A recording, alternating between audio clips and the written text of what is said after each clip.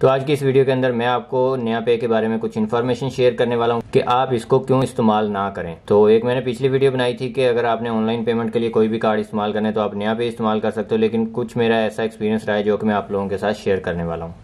असलम दोस्तों, मेरा नाम है सलमान दीप। आप देख रहे हैं Deep technology lab YouTube channel. तो चलें स्टार्ट करते हैं आज का हमारा टॉपिक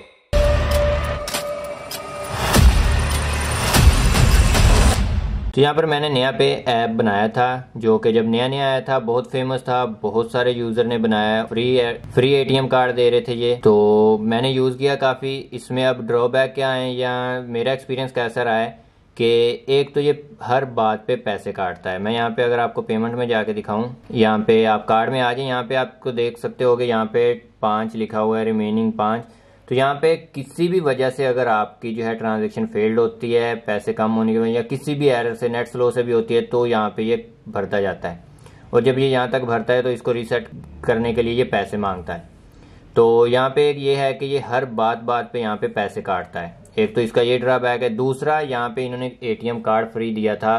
यहाँ पे एटीएम कार्ड आप देख सकते हो ब्लॉक कर दिया है। अगर आप लोग भी एटीएम कार्ड बनाया होगा फिजिकली जो आपको कार्ड मिलता है तो वो आपका भी ब्लॉक हो गया होगा। तो इन्होंने किया गया है कि शुरू में फ्री में दे दिए फ्री में देने के बाद इन्होंने क्या किया, बंद कर दिए और उसके बाद अब ये कह रहे हैं कि अगर आपने इसको मंगवाना है तो आप जो है इतने का यहाँ पे मंगवा सकते हो। तो यहाँ पे तीन तरह के कार्ड दिए हुए हैं, ये आप ऑर्डर कर सकते हो। अब ये बात आ गई पैसों पे।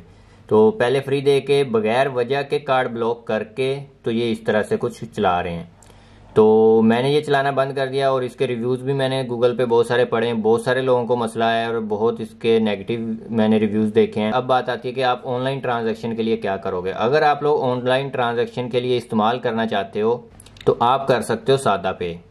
तो यहाँ पे मेरे पास सादा पे बना हुआ है। अभी तक मैंने यूज़ नहीं किया, लेकिन मैंने जितने भी रिव्यूज़ पढ़े हैं, वो सारे नया पे से उठ के यहाँ पे सादा पे पे आ गए तो सादा पे काफ़ी लोगों का चल रहा है। जितने भी लोग थे ऑनलाइन पेमेंट के लिए, अब सादा पे यूज़ कर रहे हैं। अब इसमें यहाँ पे मैं आपको कुछ चीज़ें दिखा देता हूँ। सादा पे के अंदर यहाँ पे आपके पास वन टाइम फ़ीस ले रहे हैं, आठ सौ रुपया, और यहाँ पे एनुअल फ़ी यहाँ पे देख सकते हैं, नहीं है नो एनुअल फ़ीस तो इसमें एक पे पा का कार्ड है, इसमें जो एनुअल फ़ीस है, बारह सौ रुपया, लेकिन ये अभी के लिए करंटली अवेलेबल नहीं है। तो अगर आप मास्टर कार्ड मंगवाते हो सादा पे का तो ये आपको मिल जाता है। और इसकी कोई फ़ीस नहीं है, और इसमें इस तरह की कोई भी कटौती वगैरह नहीं होती, जो आप उसमें देख सकते हो। उसमें हर बात बात पे पैसे काट लेते हैं। उसमें क्या है कि मेरे यहाँ पे कुछ पैसे पड़े हुए थे तकरीबन 2000 के आसपास और आज मैंने खोल के देखा यहाँ पे पचास रुपए हैं। वो क्या होता रहा है कि ट्विटर पे मैंने ब्लू टिक की वजह से अप्लाई किया हुआ था, थोड़े पैसे कम थे।